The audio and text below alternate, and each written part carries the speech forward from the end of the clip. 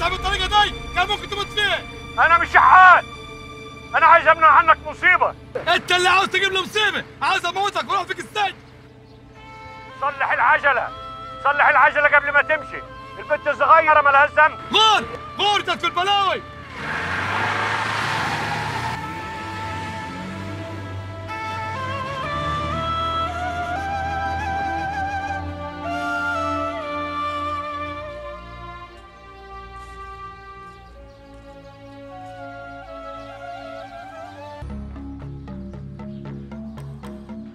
يا مرحبا يا مرحبا يا مرحبا.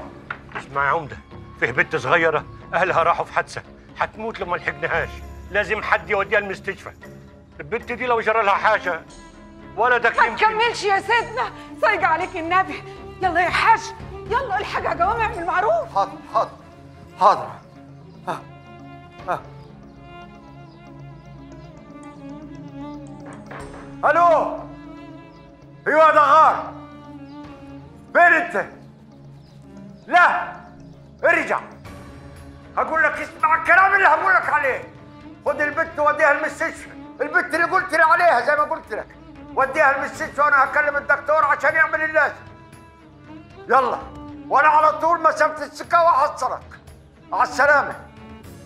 اتفضل يا سيدنا. اتفضل بسم الله. بيتك ومطرحك. تعال يا شمندي.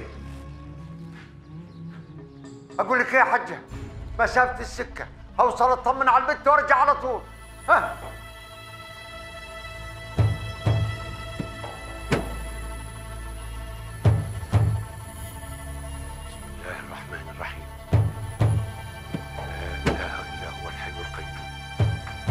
تأخذه سنة ولا نوم. له ما في السماوات وما في الأرض. من ذا الذي يشفع عنده إلا بإذنه؟ يعلم ما بين أيديهم وما خلفهم. ولا يحيطون بشيء من علمه إلا بما شاء. وسع كرسيه السماوات والأرض.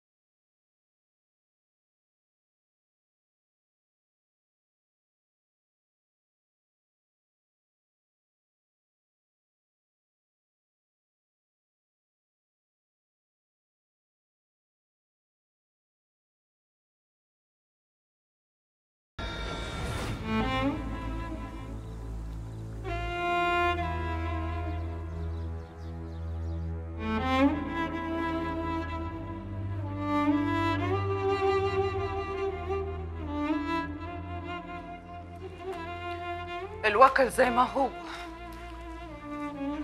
عقلي هيشت مني. الراجل ليه ثلاث أيام قفل على نفسه وعلى ولدي.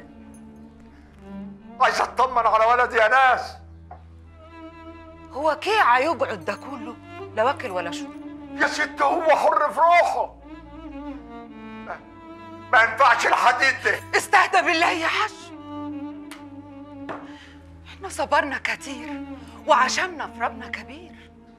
واد يكون جراله حاجة والراجل ده نايم فوق وعمال يشخر كمان. لا أنا لازم أطلع أشوف إيه الحكاية. سايق عليك النبي. اصبر شوية.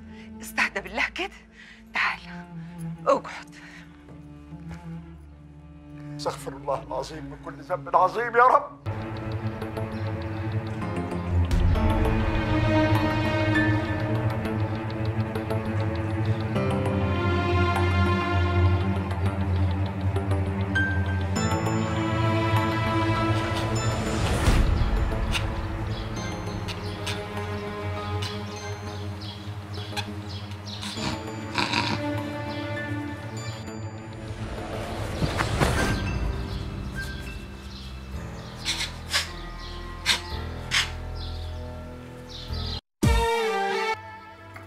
يا حاج يا حاج طارق عند حبايبي طارق انت عليك فين؟ يما يما استني هتدخل على الرجل وهو نايم جوا ولدي طارق طارق. ولدي رجع لي يا حاج ولدي رجع لي أنا مالك عليه يا حجه الواد تعبان. هو أنا هو أنا نمت كتير هو أنا عيان. لا يا ولدي أنت بخير والحمد لله. صح يا حاج خليه نايم ويصحى لوحده تعال يا ولدي. تعال يا ولدي في حضن أبوك تعال. يا أجيب لك إيه؟ تاكله. ثلاث أيام يشرب كوباية لبن عنيزة صغيرة وسليقة فروج وبس